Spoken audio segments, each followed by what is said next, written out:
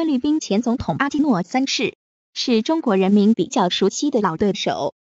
他在任总统期间，把几代人建立的良好中菲关系搞得一塌糊涂，两国差点到了兵戎相见的地步。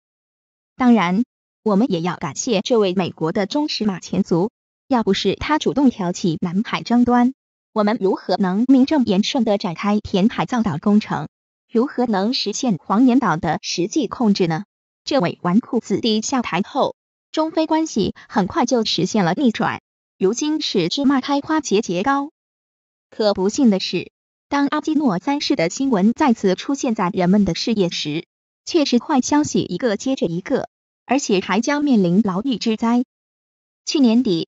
菲律宾反腐机构政府调查官办公室向菲律宾反腐败法庭对阿基诺三世提起公诉，并要求所有国际港口的移民官员监视他和他的一些内阁成员，不允许他们离境。一旦罪名成立，将面临六至十五年的刑期。新华社一月二十六日再次发布消息称，菲律宾司法部副部长二十五日向最高法院提出公诉。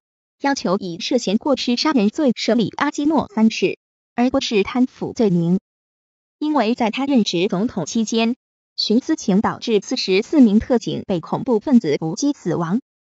调查显示，阿基诺三世为了给涉贪被停职的警察总长普里奇马洗脱罪名，绕过了其他相关官员，打破了正常的指挥程序，只允许普里奇马等少数官员策划该反恐行动。违反了菲律宾反贪污和腐败行动法。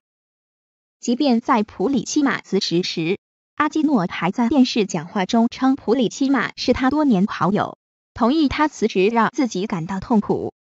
而这个月薪只有两千多美元的普里奇马，却坐拥四套独栋房产、一处公寓、五辆汽车、一家货运公司和一处养鸡场等来路不明的财产。作为菲律宾的国家领导人。阿基诺却将意以私情置于国家和人民的利益之上，包庇和纵容腐败分子，却对因自己的失误造成四十四名无辜特警死亡无动于衷，表现得十分冷漠残酷，这让菲律宾人十分愤怒。二零一五年一月二十九日，遇害特警的遗体被运回首都马尼拉，原定出席迎接仪式的阿基诺三世没有露面。而是去了日本三菱汽车工厂的启用典礼，出席警方为遇害烈士举办的葬礼及追思会时，阿基诺三世迟到了半个多小时。而在追思会上，阿基诺双手交叉抱胸，面无表情，根本不像是来哀悼烈士，更像是工作视察。别说菲律宾人，就连作者写到这里都为有这样的同类感到羞耻。杜特尔特上台后。发誓要为阵亡的特警讨回公道。